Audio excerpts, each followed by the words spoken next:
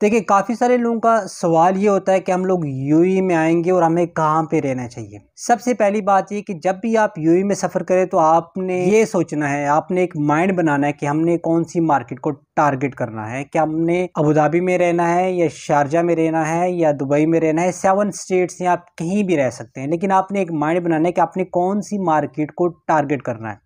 आगे चल के डिटेल से बात करते हैं। अस्सलाम वालेकुम वरहमतुल्लाहि वबरकात कैसे हैं आप? उम्मीद आप बिल्कुल ठीक ठाक होंगे, खैर अफीज से होंगे और अपनी लाइफ को एंजॉय कर रहे होंगे। अल्लाह पाक से दुआ कि अल्लाह पाक हमारी सारी मुश्किल को आसान फरमाए और अल्लाह पाक हम सबको अपनी ज़ुबान में रखे। इन्हीं एक दोनों के साथ आज की वीडियो का करते हैं आगाज़। अगर अभी तक आपने मेरे चैनल सब्सक्राइब नहीं किया तो काइंडली मेरे चैनल को सब्सक्राइब करने के साथ साथ बेलाइकन को भी प्रेस कर लीजिए। शुक्रिया। चलिए चलते हैं वीडियो की तरफ़। काफ़ी सारे लोगों का क्वेश्चन ये होता है कि हमने विज़िट पे आना है यू में आना है तो हमें कहाँ पर रहना चाहिए?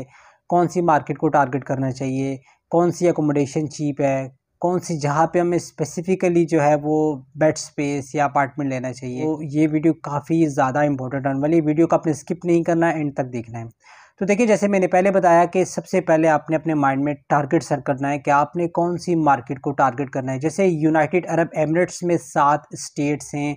आप किसी भी एक स्टेट को चूज़ कर सकते हैं। लेकिन अगर मैं आपको पर्सनली बताऊँ तो जो सबसे, जो बेस्ट जिस मार्केट को आप टारगेट कर सकते हैं, वो है दुबई। दुबई के बाद अबू धाबी तो ये बड़ी मार्केट्स हैं बिज़नेस हब है यहाँ पे दुबई में भी और अबू धाबी में भी। तो यहाँ पे काफ़ी सारी जॉब्स निकलती हैं। देखिए, काफ़ी सारे लोग ऐसे भी होते हैं कि वो जब यूई में ट्रैवल करते हैं तो वो शारजा आ जाते हैं या अजमान अकोमोडेशन ले लेते हैं। तो फिर अजमान से या शारजा से आप दुबई में ट्रैवल करते हैं कि आपको इंटरव्यू की कॉल आती है। क्योंकि मोस्टली कंपनीज़ ज़्यादातर ऑफ़िस दुबई और अबूधाबी में Sharjah, Ajman, Ras Al Khaimah, मुल्कम Fujairah बहुत कम कंपनीज़ हैं जो बिज़नेस हब है, या तो दुबई में है या फिर अबूधाबी में है। तो मोस्टली जो आपको कॉल्स आएँगी या जो आपको अपॉर्चुनिटीज़ मिलेंगी, या तो अबूधाबी मिलेंगी या आपको दुबई में मिलेगी। तो आपने दो मार्केट को टारगेट करना है, एक अबूधाबी की और एक दुबई की। लेकिन पर्सनली मैं प्रेफर करता हूँ दुबई को।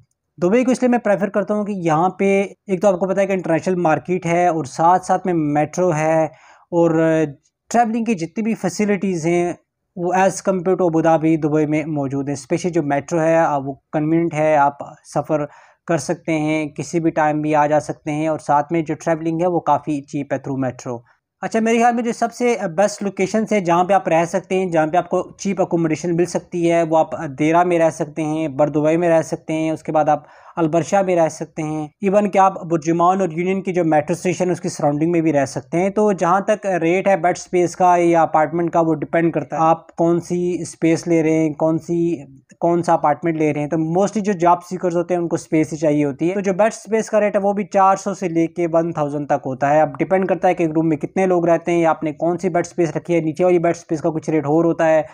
तो जो ऊपर वाला बैट होता है, उसका कुछ और रेट होता है, उससे ऊपर वाले का कुछ और रेट होता है तो ये डिफरेंट रेट होते हैं। लेकिन मैं आपको एवरेज बताऊँ तो चार सौ से लेके वन थाउज़ेंड तक आपको अच्छी बैट स्पेस मिल जाती है। और याद रखें, जब आप जॉब के पर्पज से आ रहे हैं तो हमेशा ये याद रखें कि आपने जब भी अकोमोडेशन या बेड स्पेस या वट एवर जहाँ पे भी आपने रहना है मेक श्योर sure कि जो आपकी जो लोकेशन है, जहाँ पे आप रह रहे हैं, वो मेट्रो के करीब हो मेट्रो स्टेशन के करीब हो। अगर मेट्रो स्टेशन के करीब नहीं भी है तो एटलीस्ट बस स्टेशन के पास हो जहाँ से आप बस लेके आप मेट्रो पकड़ के आप सीवी डिस्ट्रीब्यूशन के लिए जा सकते हैं आप जॉब इंटरव्यूज़ के लिए जा सकते हैं या आप किसी से मिलने जा सकते हैं या फिर कोई भी काम आपको पड़ सकता है तो आपको अगर ट्रैवल करना पड़े तो आपके लिए काफ़ी आसानी पैदा हो जाएगी। और जब भी आप दुबई में आएँ या यू में ट्रैवल करें तो हमेशा अपने आप को प्रिपेयर करके आएँ, अपने साथ एटलीस्ट जो है वो आप, तीन से चार हज़ार दिन अपने साथ लेके आएँ क्योंकि आपने यहाँ पे दो तीन महीने गुजारने होते हैं अपने अकोमोडेशन का रेंट देना है, आपके खाने का खर्चा होना है, आपके ट्रैवल का खर्चा होना है, आपके डॉक्यूमेंटेशन का खर्चा कभी आपने कॉपीज़ करनी है, कभी क्या चाहिए, कभी क्या चाहिए। तो काफ़ी सारे अखराज होते हैं जो आपको यहाँ पे करने पड़ते हैं। तो एटलीस्ट तीन से चार हज़ार आपके पास होना चाहिए। और लास्ट में कि जब भी आप यू में ट्रैवल करें तो मार्केट की सर्च ज़रूर कर लिया कीजिए। इससे यह है कि आपको थोड़ा सा एक मार्केट का आइडिया हो जाता है।